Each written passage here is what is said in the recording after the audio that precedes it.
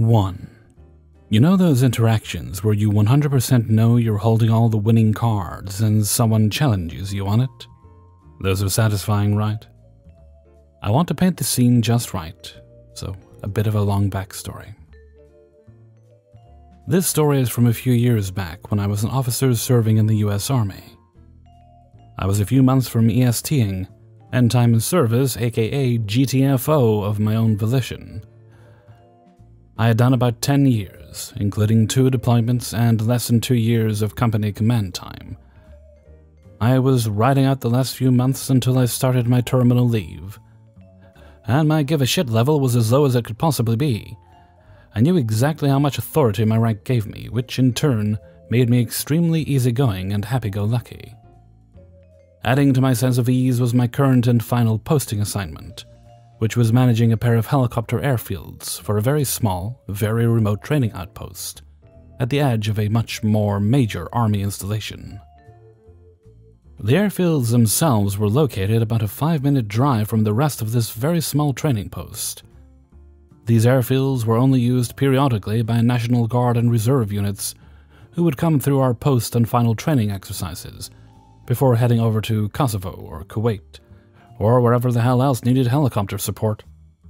Since training units were on a set schedule, it was pretty common where we'd have weeks of downtime with basically nothing to do besides airfield maintenance. Lots of site improvement and sustainment, yard work type stuff. During these low demand periods, it was not uncommon for me to send my team home at lunch provided we'd completed everything we were supposed to have done. My team was small but competent, and composed of pretty senior personnel, being a non flight Chief Warrant Officer 2 and three Sergeant First Classes, E7. Everyone was a subject matter expert in their respective fields, and knew what needed to be done, so my job was basically to prioritize tasks, keep the bosses off my people as much as possible and make sure to sing their praises and accomplishments to the higher ups. Again, we are located relatively remotely, so not many people saw us on a daily basis. Military police cars would swing through about once a day, do their standard security checks of the airfield fence, and that usually accounted for 50 to 100% of the visitor traffic my airfields would see on an off day. Couldn't be an easier gig, right? One of the tasks I accomplished was a complete review and update of our standard operating procedures, with input from all of my team members. The previous copy was dated something like 2005, and it was now 2017. So it needed some refreshment. All sections of the SOP were brought up to date and referenced the exact post wide, army wide, civilian regulation or policy letter that was needed with the applicable regulation posted in the appendix section of the binder, as just some extra flair. So no one could ever say we were making shit up. A streamlined version of the SOP was also approved in multiple copies to any training unit that ended up rotating through our area of operation. We didn't have a lot to do, so we were quite familiar with local regulations. One of the regs that always caused a bit of a heartache was the one that stated Anytime the airfields have helicopters present, security is paramount. Either A, the training unit must provide a gate guard force capable of 24 7 operation, or B, the training unit will have access to the airfield property during the hours that the airfield management team is present. If they chose not to provide a few soldiers to be gate guards, that meant they only got access to their aircraft, offices, computers, maintenance equipment, etc. When me and my folks were working aka roughly 7am to 5pm work schedule. So option B was virtually impossible. The units didn't always like it, but they accepted it and planned for it. So they'd bring a half dozen of their non deploying soldiers with to man the gate, conduct the mandatory 100% ID check. This part becomes important later and basically pretended like they're in a deployed environment, not in the middle of the US. My team and I would conduct in depth briefings and demonstrations, as well as providing binders and phone numbers full of what if situations to ensure these soldiers were as comfortable with the job as possible, since usually they were a bit of an afterthought to their own unit since they weren't deploying. We weren't grading them like we were the rest of their units, so the guard soldiers pretty quickly understood they could turn to us if needed. One day we had a training unit occupying the airfield. Most of my team was sitting in the office when I got a call from the guard gate shack. Sir, this is Specialist Snuffy, at the guard gate. Uh, I think we need someone to come out here. Sure, dude, what's going on? Well, uh, there's an MP here, and he's giving a ticket to Private Joan because she wouldn't let him onto the airfield after he wouldn't show his ID. Okay, calm down, relax. I'll be there in a minute and we'll sort this out. The eyes of my three team members present, the Chief Warrant Officer 2 and two of the E7s, all rose to me, and I asked if anyone wanted to come with me to talk to some MPs. We'd had some minor issues with MP arrogance before, but nothing that even came to conversation previously. There wasn't shit going on in the office, so everyone readily agreed to join me. We walked the 250 yards from the office to the gate shack to find a very concerned looking specialist, E4, and a very young private, E2, trying to hold back tears. A few yards back from the shack, standing next to his patrol car, was a hostile looking sergeant, E5, writing furiously in his, what I assumed to be, ticket book. I quickly addressed Specialist Snuffy to see if there was any backstory not included in the phone call, and he just answers, No, sir. He drove up to the gate and demanded airfield access. When Private Joan asked him for his ID, he refused, saying he didn't need to show it since he was in a patrol car. When she tried to tell him that because helicopters were present, there was a 100% ID check policy in place, he started saying she was impeding his duties and he'd be writing her a ticket. That's when I called you. I nodded and ambled my way over to the sergeant, my posse trailing behind my step. I was already annoyed by the way this guy was conducting himself, but I wanted to keep things pleasant, if I could, so I kept my tone light. Afternoon, Sergeant. What seems to be the problem here? Sergeant Douchebag kind of glances up quickly from his ticket book with a. I can only describe it as a scoff look of, what peasant nonsense must I deal with now? And puts one hand on his hip and starts with, I'm writing Private Joan here at Tika because. Sergeant Douchebag doesn't get another word out, because my CW2 has already had enough of his disrespect and shenanigans, and she begins snapping at him Sergeant, you are talking to an officer right now. You will stand at attention and address Captain Sneaky Fox as Sir, or you will be doing corrective exercises until I get tired. Which should be about the time your supervisor arrives. Do you understand? Okay, cool. She's playing bad cop here. I can work with that. It was like someone had hit this kid with a taser. His eyes shot open and his expression lost its smugness and he shot to the position of attention, ramrod straight, with a mumbled, Sorry, sir. I was never the kind of officer who demanded enlisted officers address me from attention or parade rest. But Sergeant Douchebag's behavior so far warranted it. Fortunately, he took Chief Warrant Officer 2's, ATC's correction to heart and dropped the attitude, so I was free to play good cop and try to salvage this situation. She and my two E7s, a sergeant of appreciably higher rank than Sergeant Douchebag here, just stood behind me glaring. Okay, stand at ease. Now, why are you writing Private Joan a ticket? My understanding is she asked to see your ID and you refused. Even after being told that due to aircraft being on the field, there is 100% ID check policy in place. Sergeant Douchebag nods. MPs don't have to show ID if we're in uniform and in our cars. It's policy here on post. I retrieve the shiny new SOP binder that my team had just put together and flip to the applicable page. Okay, that's great, but I've got a policy letter here signed by a two star general saying 100% ID check. If you have something that overrides that, I'll need a copy to revise my SOPs. Until we revise that policy letter, these are my orders. Note at this point I have strong doubts such a policy letter exists. Also, answer me on this one, true or false. As a soldier here on Fort Base, you're required to have your ID on you anytime you're in uniform, correct? And provide the ID for inspection if challenged? Sergeant Douchebag is clearly struggling, seeing where this is going and fighting the inevitable. Yes, sir. Do you have your ID on you, Sergeant? Yes, sir. May I see your ID, Sergeant? He abashedly reaches into his wallet and pulls out and hands me his very valid military ID card. I look it over, confirm it's him in the picture, and hand it back. Thank you, that wasn't so difficult now, was it? Yet you chose to make an issue out of this for some reason. He shook his head, refusing to admit defeat. Sir, it's post policy. I don't have to show it when I'm in my patrol car. Can I call my desk sergeant?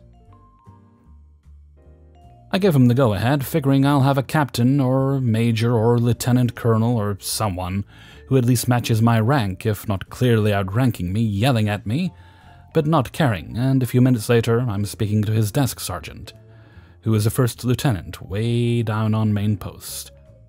For those unfamiliar with ranks, first lieutenant does not outrank my captain bars. Okay, let's see where this goes. Spoiler, same discussions as before, just out of a different mouth. Sir, Sergeant Dishbag told me what's going on, and he's right. It is a post policy that MPs in patrol cars don't need to show ID. Me knowing at this point I've won, but willing to be gracious in victory.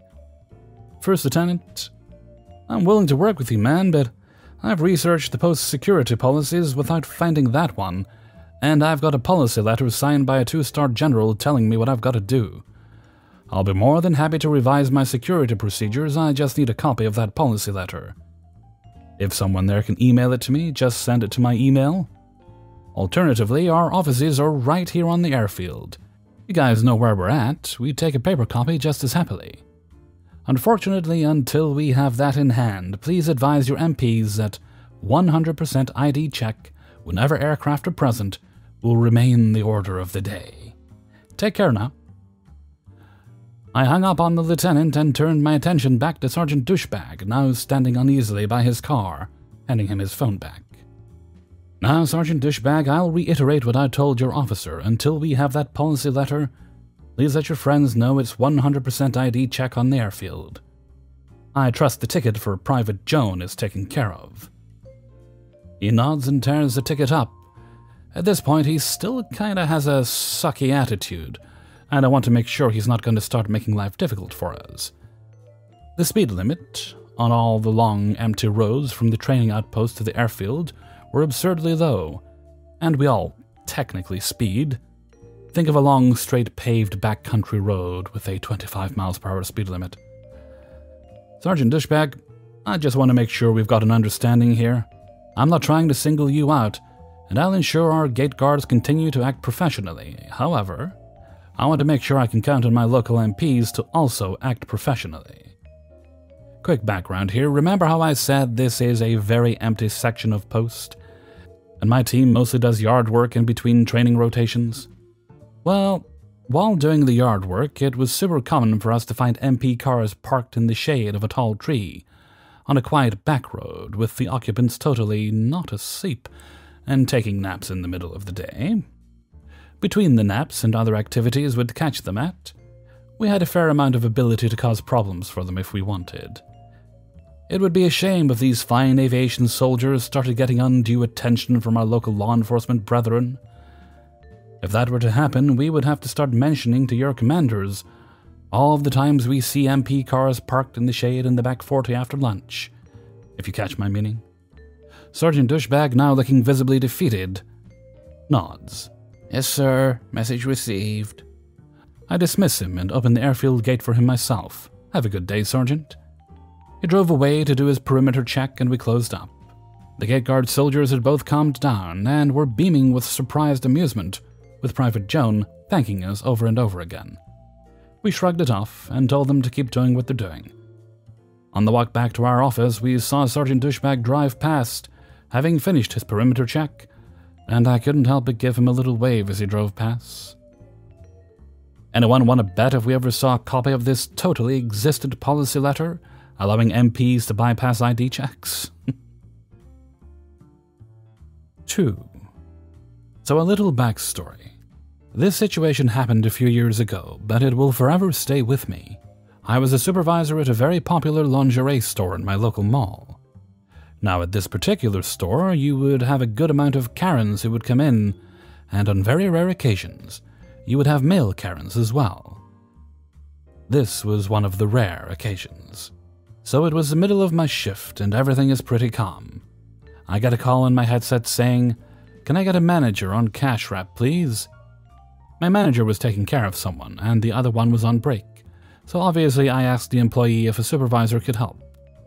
She just said in an uncomfortable tone, Yes, just please get up here. I get up to the cash wrap and I am immediately stared down by a man who was obviously beyond pissed. He immediately yelled at me, saying, There's no way a 16 year old is a supervisor. Get me the real manager or supervisor. I look young for my age, but I told him that I am 21 years old and I am more than capable of helping him resolve his issue. So I asked the employee to give me a rundown about the problem. She let me know that the man's wife came in the other day and spent well over $300. That also she had coupons, but not all of them were applied, and the ones not applied were given back to her.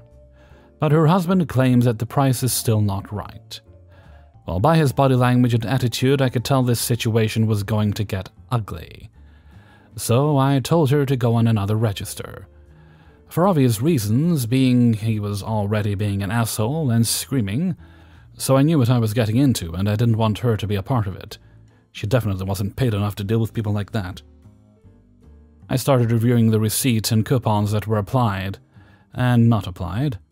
I was doing the math to make sure everything added up, and lo and behold, everything was good. He immediately started throwing things and yelling at me. Are you fucking stupid? The math is not right. That also doesn't explain why the coupons were not applied. No wonder you work at a store who only focuses on looks. Anyway, we go back and forth with each other, and I try to explain to him that I read the terms and conditions, and it specifically says cannot be combined with other promotions or coupons. Oh God, he didn't like that answer, but he let that problem go. We were then back on the price. He then proceeded to ask for paper and pen so he could explain the simple math, because I was too dumb to listen. I smiled and told him to please show me my error. Well, let me just say this was the second best part of the encounter. He was subtracting 40% by the final ticket price. He literally did 40 minus 34 equals 14. And I'm the stupid one. I'm not a mathematician, but I know that's definitely not how you do that. But I let him keep going, though, because obviously he wasn't going to listen to me, and also, he looked like he was having fun, thinking he was right. Skip 30 more minutes later, I see my head manager was done with her customer, and I called her up because I thought maybe I did skip over something. I'm human, maybe I made a mistake. Before I start, I will say this manager is not to be messed with. Sweetest woman in the world, but she's been with the company for over 30 years, and she knew what she was doing. So she reviewed everything, explained everything was right, and then said, You know, I actually did this transaction, and I even told your wife what would be applied and what would not be applied. He was shocked, and I was laughing inside my head. He argued with her for a whole hour, and she refused to let up, so he finally gave up. To finish up, the man ended up screaming when leaving the store. He said some pretty sexist things and then threw stuff around as well. Did I enjoy being able to tell this man he was wrong? Absolutely. Did I also enjoy he was banned from the mall? Mm, yes, yes, I did. To all the Karens in the world, remember this the more you scream, yell, and degrade us, the less likely you will get your way. 3. So, to set the scene, I'm a soldier in the United States Army, so I don't get to see my family back home often. And we have this thing called staff duty where we basically make sure soldiers don't burn down the barracks, and it's a 24 hour shift. I had just gotten home to my wife, and I was getting ready to sleep, due to not sleeping for a whole day and night, of course and I got a call from my sister saying she was flying somewhere. Me and my wife were dealing with less than subpar roommates, along with a landlord threatening an eviction notice. This will kind of become important later in the story. Later that day, I fell asleep and talked to my wife about what my sister talked to me about, and we agreed to try to talk to her about coming in a later time, when me and my wife find a new place to live and have our lives situated, at that time, we were super stressed out and are currently, due to financial issues. My sister still decided to fly out to visit me and my wife, so wholeheartedly, we agreed to let her stay in our apartment on the couch. Our apartment is absolute shit. Honestly, the whole building needs to come down. No matter how spotless me and my wife made the apartment, there were still roaches coming from the neighbors. Anyways, the night my entitled sister flies in, me and my wife plan to go to see the new Harry Potter movie in 4DX. Never thought that I would get my ass kicked by a movie. And already had bought the tickets, and to include my entitled sister, we bought her a ticket. Fast forward from normal catching up conversation, I mentioned to my sister that me and my wife were going to take her to see the new Harry Potter movie. She scuffs her nose up, complains about being tired, and says, hm, I don't like Harry Potter anyways, and don't want to go. I want to take a nap. Reluctantly, we run her to our apartment. The time zone is weird where we live compared to everywhere else, so me and my wife understood that she was probably lagged. We lay out the air mattress we keep for guests, and brought out pillows and blankets, and me and my wife enjoyed our date night as follows. The next morning, my sister wakes up at 6 a.m. our time and knocks on our bedroom door. Me and my wife sleep commando, so we keep the door shut at night. I immediately wake up and put a pair of shorts on and ask if everything's all right. My sister then proceeds to try to rush me to get dressed because she had so many plans that she had not discussed with me or my wife. Keep in mind, it's been four years since I last saw my sister, so my wife wanted me and her to hang out while she packs more for moving out. I told my sister I had just worked a 24 hour shift recently and that I hadn't slept much due to packing and trying to move. At first, she claims and even says sorry and lets me sleep. However, once I'm awake, I'm fully awake for the day. So I shower, shave, and put on comfy clothes to show my sister the army base I work on and take care of an errand. I took her to surrounding bases and even took her out to eat. At least she paid for her own meal. Around noon, I told her I needed to go home for a few hours to take a nap and help my wife pack. God bless that beautiful woman because I work a lot. She's done so much in the apartment and she immediately gets upset. But I wanted to get a matching tattoo with you. I'm sorry, but my wife needs help at home. I don't know how you and your husband's marriage works, but me and my wife usually try to do everything together. And we're introverts. This is the most I've been out in a while. My sister says, Well, maybe I should tell Gram and Grampy that you and your wife are living in a shitty, filthy house and that your wife is lazy. Again, our apartment wasn't dirty from being trashy people, we were legit in the middle of moving, and she visited us unexpected, and my beautiful wife, God bless her, works her tush off when I can't be home to help. So I said, alright, let me go home and grab something and tell my wife. This was after listening to her complain about the tattoos for the whole morning. I was giving her a tour of the military base. So my wife said that's fine, and she was going to take a nap. I thought it was going to be simple designs that wouldn't take long, so I wasn't too worried about being gone long. Fast forward to the tattoo shop. My sister already picked the design out and colors, and told the tattoo artist I wanted the same thing. I tried to talk, but as rough and tumble as the army is, I am still a very timid and quiet person, and she immediately cuts me off and says, This is a tattoo we're getting. Not gonna lie, I kinda liked the design, but didn't want to be away from home as I've been gone all morning. Again, I didn't fight her, because she's big sister, but God, I wish she would let me be my own person. So after we get our tattoos, we get to my apartment, and I laid down and cuddled with my wife for ten whole minutes before my sister knocked on our bedroom door. Hurry up, I want to go to the beach. I'm sorry, but I told you I needed a nap. Well, you only have an hour, so you better be ready, she says. Now, my wife is a softy, but not when it comes to me.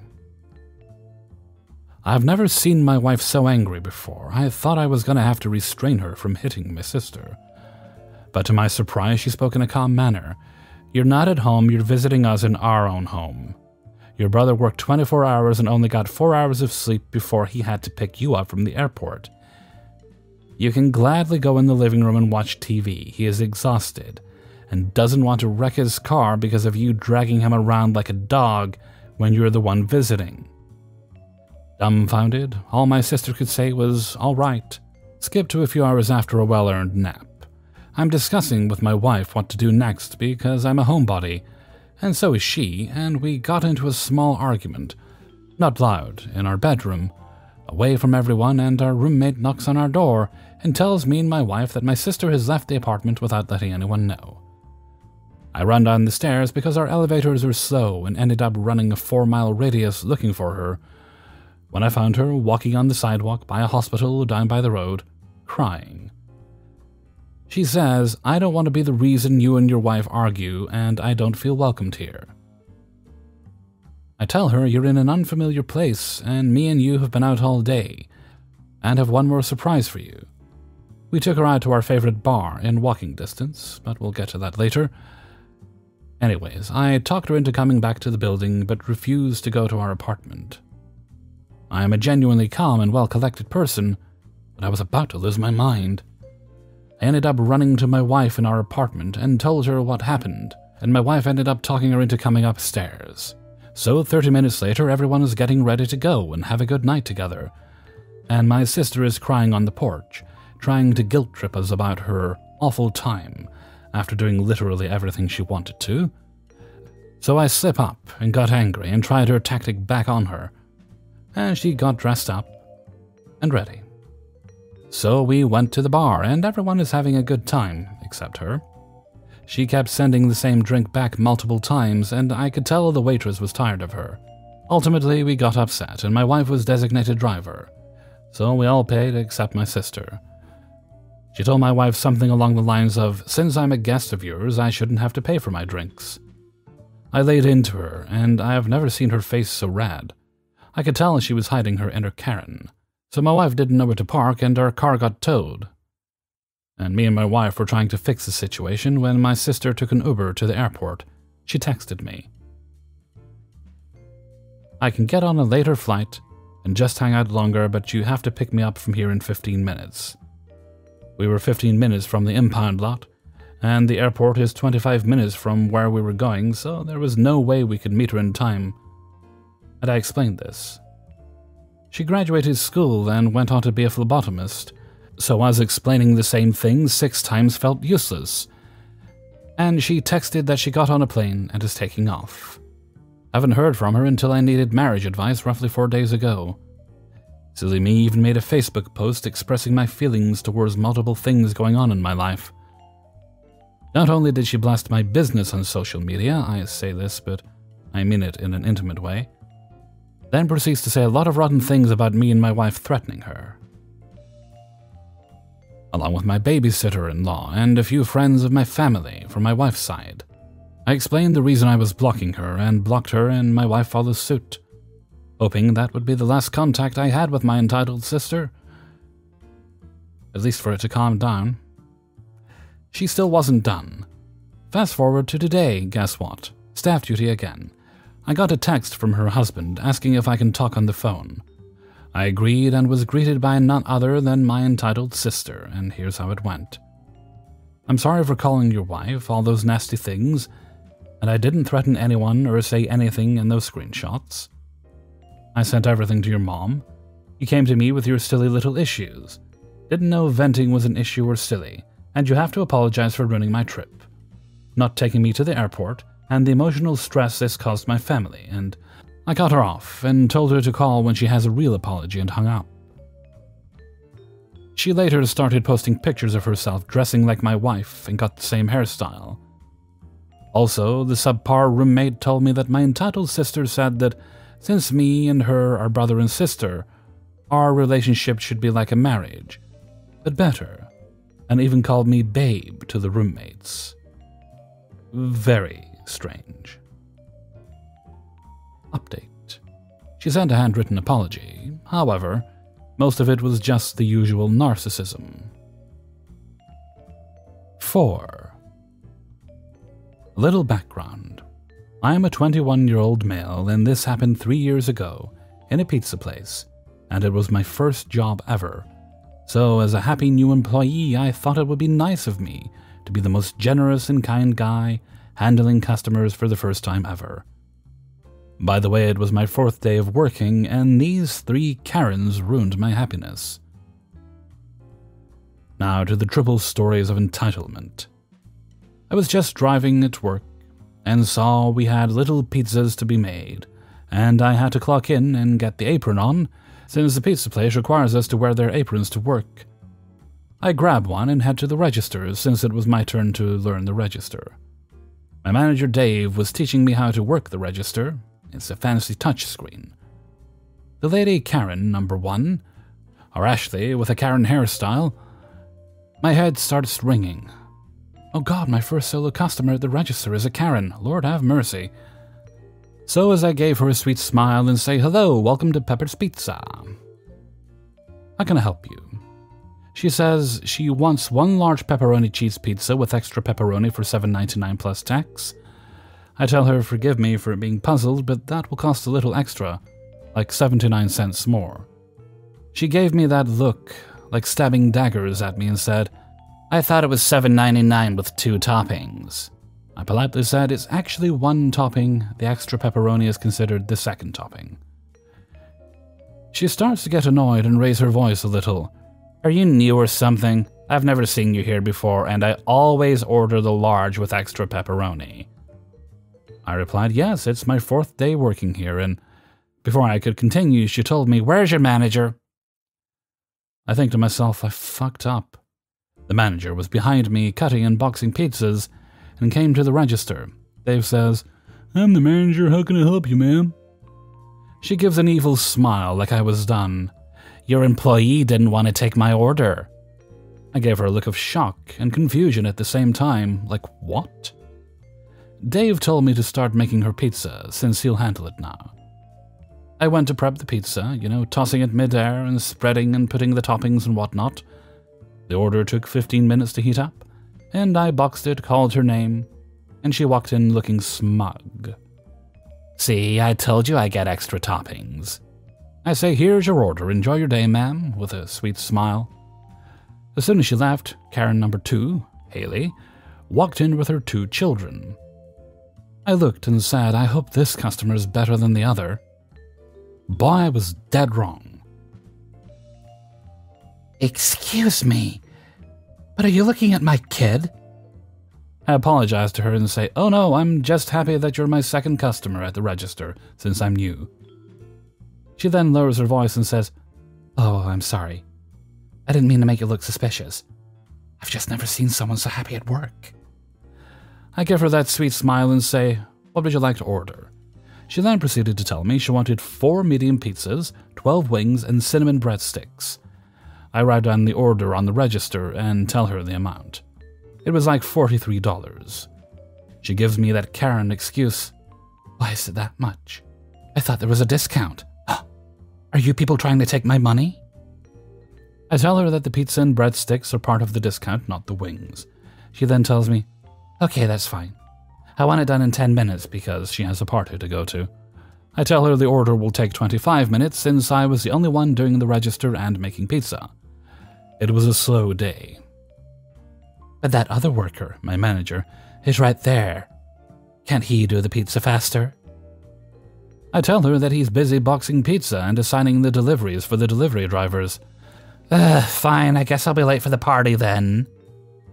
She pays and walks out and waits. I make the pizza and breadsticks, then I put the 12 wings in, and all the food is ready early. Since she was waiting, I decided to prep the box myself and box the pizza and the rest. She comes in and says, I thought you said it will take 25 minutes. You made me tell the party person I'm running late. I apologize and hand her her pizza, and she legit said, A Mexican like you shouldn't lie to me, you fucking liar. My eyes were wide open, and she walked out and the phone rings. I stand there, mouth open. I picked up and take another order through the phone for a big party order. I kid you not, 30 medium pizzas, 15 pepperoni, and 15 cheese. By then, three other employees enter to start their shifts and see the board for 30 pizzas. My god, as if that wasn't enough stress for seven employees, here comes the third Karen well, Ken, since it was a male, let's call him Henry. He came in to order one large pizza with pepperoni. I took his order and had to squeeze myself with the other two employees who were making the other 30 pizza order. I proceeded to place the toppings and put it in the oven. Ten minutes later, it came out, and I boxed it and called for his name. He came in and opened the pizza and was shocked. Excuse me, miss. Yes, he called me miss. There's a problem with my pizza. I look and see nothing wrong. Where is the problem? Are you fucking kidding me? It's the bubble on the pizza. I told him, yes, but that is normal. I want the perfect pizza like your commercial. Wait, what? Excuse me, but did you say like the commercial? Did I fucking stutter? Henry replies, Yes, make it again. I just wanted to make him happy. And asked my manager to make a new one. And I did. Sixteen minutes later, again, he said it still has a bubble. I made another. Keep in mind, the 30 pizzas were still being made. I made this pizza not once, not twice, but a total of seven times. The last order was with so many bubbles he yelled at me for being a fucking idiot and not making a perfect pizza. At that point, I was about to cry because he just yelled at me. My manager has had enough of his bullshit and gives him the pizza and tells him to get the fuck out for yelling at his new employee. The guy says to fuck off and leaves with his ugly pizza. FYI, the first pizza was the best I made. My manager, angry and stressed, yells at me to get back to making pizza. I cried a little for the fact that I had three entitled people back to back yell at me. Five hours go by, and my manager calls me into the office and apologized non-stop, saying, I'm so sorry for yelling at you. Please don't think I was angry at you. It was a rough day. I told him it's okay, it's not your fault. He then says before you go home, you can make yourself two pizzas and take some dessert for free, because he wanted to apologize to me. So the worst day of having entitled people led to me making two pepperoni pizzas with oregano, two boxes of cinnamon breadsticks, and four chocolate lava cakes. Why, something so horrible led to something so sweet. 5. So this afternoon, about two hours after I began my mid shift, my phone rings. Our phones have caller ID, and the number that came up indicated it was the number 1200, usually meaning it is a blocked number. I answer like normal. Bright Light Sweets, how may I help you? Yes, may I ask who is speaking? Blue Lily. Oh, that's a beautiful name. Tell your mother the next time you see her that she made a work of art when she named you. I'm a little thrown aback. Thanks. Anyways, I work for some corporate name. I am a public relations trainer. With COVID, we are doing phone training. So instead of having to train on your days off, we are implementing this phone survey. Red flags, red flags all around, but okay. Let's see where he is going with this. All right? Have you heard of power of suggestion? Yes. Okay, good. Proceeds to explain to me like I didn't just tell him yes, I understand. Also, are you familiar with psychology? Word association. Yes? What is he up to? Okay. So I'm going to do a word association with you. So when you think of a person you dislike, I will say man or woman. Woman. Okay, okay. Now, if you had zero repercussions, or could do anything to this person, what would it be? I'm not sure I follow. For instance, would it involve a rope, a knife, things like that? I am sorry, what is this about? This is part of the training for the group I work for. I am a public relations rep. Yeah, you know what? I'm really busy. Uh, could you call again later? Uh, yeah, sure. Okay, thanks. I hang up. Six times this man tried calling me back all night long. In the meantime, I call my GM. Nope, we don't do anything like that here. Which I kind of already knew, but hey, cross those T's and dot those I's. I don't know if this guy was just pranking me, or if he was some pervert trying to get his jollies, but it's the Friday before Easter, and I'm too busy to deal with this crap. Hey everybody, Hellfreezer here, and thank you very much for listening to Idiots in the Wild, episode 60. And thank you very much to everybody who allowed me to use their stories in this video. If you enjoyed the video, then I'd appreciate it if you give it a like, and maybe share it around with all your friends and family. All that good stuff is all very helpful. Alright, today is the 4th of May, isn't it? May the 4th be with you and all that sort of thing. And we do have a shout out. Today, today, to do, do, do. Uh, today's shout out goes to someone whose name wasn't mentioned. Uh, aha, there we are. Okay. It's two different emails. I knew, I, knew it was in one of them. I'm, I'm smart. All right, today's birthday shout out comes from Mama Wolf, and it goes to her sister Sean, who's turning 51 today. Well, Sean, I hope you have a delightful birthday and that you're being spoiled in every single way possible. That requires cake and ice cream and lots of booze if you're into booze. Maybe like a booze cake. Or maybe like a, a, a champagne bottle in the form of a cake. That's a thing that can happen now. I've been getting distracted by there's a channel I can't remember the name off the top of my head, but it was a girl that made made her her head in a cake. She makes cakes that look like other things. I've been getting distracted by those recently, so it's on my mind. Uh, but, but that's enough rambling to me. Uh, before we head off, I'd very much like to sing happy birthday to you, Sean. Okay, here we go. Happy birthday to you. Happy birthday to you. Happy birthday, dear Sean. Happy birthday to you. All righty. Ah. Does good things to my head, that. I get a little high when I get to the end of it. I don't know if it's oxygen deprivation or what. But good times, good times. Okay. And with that, I'm going to head off for now. So until next time, thank you very much for listening, and take very good care of yourselves.